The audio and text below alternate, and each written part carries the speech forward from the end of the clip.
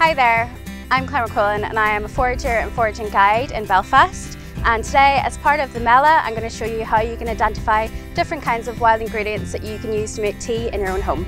As we walk around the park, we'll look at different types of fruit, flowers and trees that you can find in your own park and we'll talk about their properties and flavours.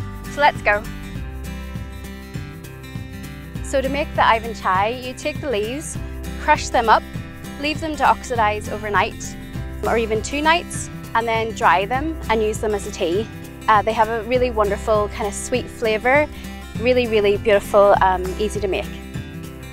These are stinging nettles and these are definitely a forager's classic. Uh, one of the first things you learn to pick when you're a forager. Um, nettles are an excellent source of vitamin A and vitamin C and they make an excellent tea. When you're picking them, you really want to use a pair of gloves. I'm being a little bit risky here picking them with my fingers, but I am uh, well practiced in collecting nettles without gloves. And you want to pick them without seeds. So you can see on this plant, there are no seeds growing on here. These are the ones that you want. You can use these fresh, just pick them as they are. The top four leaves are the best ones to pick. They have the best nutrition and the best flavour. And just infuse them in hot water as they are, or you can dry them and store them for a long time and use them for later. In the springtime, I like to collect these leaves. That's the best time to collect them for tea. So just take the branch and strip them off. And you can use these fresh or dry them. And they have a very, very similar flavour to green tea. Um, really, really fresh and astringent flavour. Um, really good for you. This is used as a heart tonic, so it might be good for somebody who has um, heart problems. And also is just really, really abundant and delicious, and you'll find this everywhere.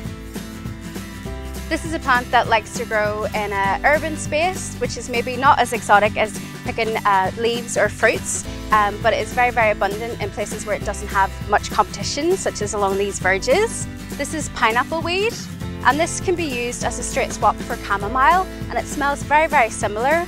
Um, its name pineapple weed also alludes to the fact that it tastes very slightly like pineapple when you make it into a cordial, um, but also makes an excellent tea. Again, just simply dry this and you can mix this with other things and you get an incredible tropical flavour. So these will impart an incredible lemony citrus flavour to a tea. Uh, you can use these fresh, but they're definitely best used dried. So take them home, pop them into a very low oven and uh, crush them up and use them in tea and it will give you a properly lemony fruity flavour, really amazing. So my basket's nearly full with everything we need and we're going to head back now to the kitchen and I'll show you how to use it. So when we've gathered all our things for tea, um, we can start drying. So I'm going to show you how to do this really, really simply.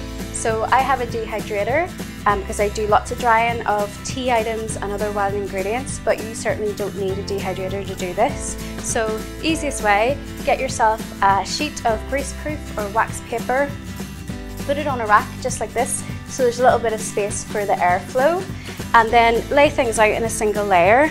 So this is our fireweed, so to dry it really simply and green, just pick it and lay it out. So we can do it with a fireweed, with our nettles, with our rowan berries, and with our pineapple weed. And what you can do to do a quick process is pop this into your very low oven, something around 30 or 40 degrees. and leave them there for a few hours, keep a good eye on them so uh, to make sure that they're not getting too crispy. Um, or even simpler, find yourself a nice dry warm place in your house and leave these out to dry just naturally and they'll dry in about 24 hours, 48 hours. Once they're dry, pop them into a jar just like this and that'll keep them for a good few months. One of the most exciting things for me about collecting these uh, wild greens for tea is to make my own tea blend. Um, you certainly do not need to be an expert to do this. It's just a case of playing around and seeing what works together.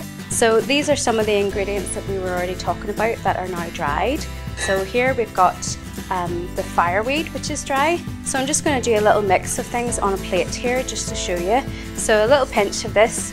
Always be generous. These um, plants tend to have less strength of flavour than you would have with traditional tea. So I would be generous with that. So a good pinch of that. So that's the fireweed. This is our hawthorn. So a good pinch of that.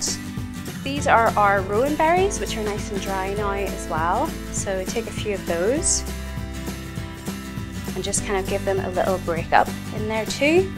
And then here I've got some calendula petals which I've grown in my own garden. And these have brilliant medicinal property, but also they add a lot of beauty to your tea. So um, sometimes I add these in just to make things look beautiful. too. So mix these all together, break them up a little bit. The more you break them up, it'll release more of that kind of flavour in there. And then you could just put this into a teapot, but I'm actually going to use a tea bag. So these make really beautiful gifts as well. So you can buy these beautiful unbleached um, paper tea bags online. They're not expensive. And just take your mix and you just pop it in there. So you want to fill your tea bag up nice and full like this and pull the drawstring. And then we're going to make a cup of tea with this.